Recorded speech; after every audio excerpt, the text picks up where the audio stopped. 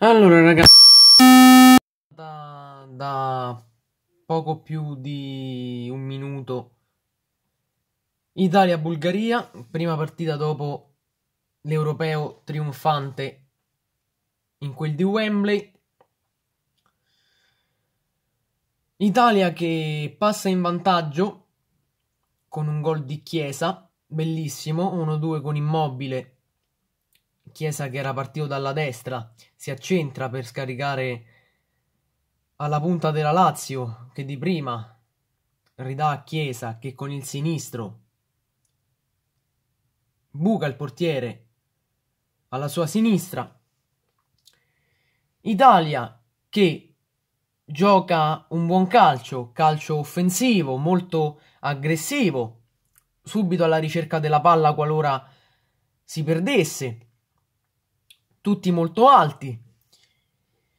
Però abbiamo preso un gol verso la fine del primo tempo che definire stupido è riduttivo. Stavamo tutti in avanti, poi Florenzi si è fatto saltare come un pivello, Bonucci sta sempre con le mani dietro, perché sta sempre con le mani dietro, questo non si sa, e Acerbi stava molto distaccato dal, dal marcatore nella Bulgaria. Cosa che se ci fosse stato Chiellini molto probabilmente se lo sarebbe tenuto stretto e il gol molto probabilmente a quest'ora non l'avremmo preso. Italia che poi nel secondo tempo si sperava facesse di più, si sperava facesse meglio, si sperava trovasse il gol del 2-1 che in qualche occasione eh, è pure stato vicino. Mi viene in mente quello di Chiesa che davanti al portiere, eh, il portiere della Bulgaria ha fatto una grande parata. Poi nel primo tempo mi viene in mente Insigne che dopo un lancio di Bonucci ha fatto uno stop favoloso e, ehm, e a tu per tu col portiere quando si è trattato di segnare non è stato in grado di mettere il pallone in buca. Italia che tira poco da fuori area. Dovevamo sempre arrivare almeno al dischetto del rigore per provare a tirare. Immobile quando aveva palla perdeva sempre l'attimo.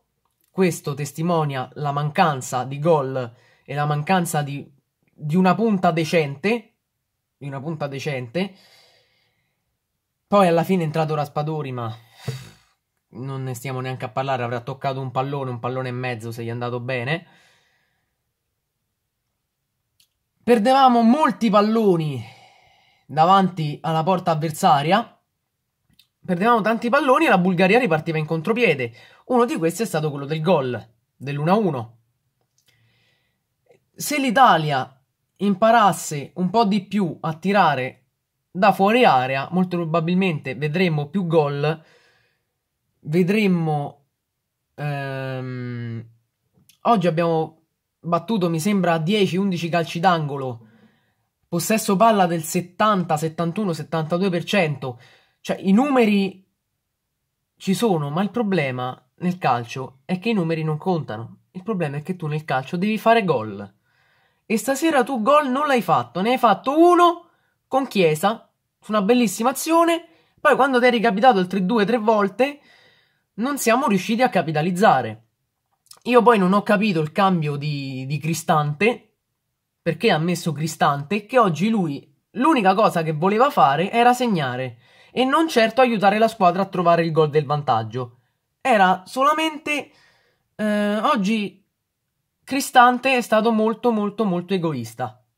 Questo. Italia che ha deluso oggi, perché l'Italia oggi ha deluso, doveva vincere, ma d'altronde Diciamo che da una parte diciamo che è anche comprensibile perché abbiamo due gare di campionato nelle gambe, abbiamo ehm, storicamente sempre sofferto le gare dopo la sosta estiva, abbiamo sempre storicamente sofferto le gare settembrine